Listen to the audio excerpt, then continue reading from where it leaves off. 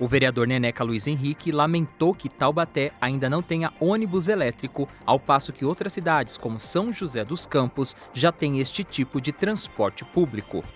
Então, são algumas situações que a BC, pelo tanto tempo que já está aqui na cidade de Taubaté, está na hora de começar a fazer coisas melhores e ir ao encontro da vanguarda. Porque semana que vem, vereador, eu vou trazer um vídeo aqui para eles entenderem como São José dos Campos é hoje uma realidade.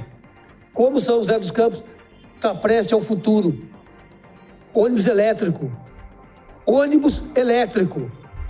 Por que Taubaté não tem? Taubaté é uma cidade de 350 mil habitantes. Por que, que não tem ônibus elétrico? O centro da cidade, Taubaté, cabe o ônibus elétrico para fazer o raio. Por que não esperar daqui cinco anos, seis anos, João Salles, para ter? Não, vamos ao encontro, vamos tentar trazer esse ônibus